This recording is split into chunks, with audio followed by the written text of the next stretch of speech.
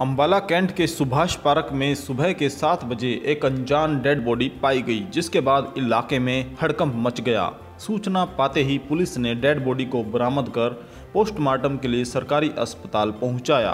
Police का कहना है कि मामला गंभीर है और पोस्टमार्टम रिपोर्ट के बाद ही इस घटना पर कुछ कहा जा सकता है।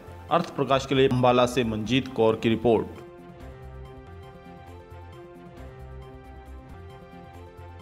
ताज़ा अपडेट्स के लिए अर्थ प्रकाश टीवी को सब्सक्राइब करें और बेल आइकन को प्रेस करें।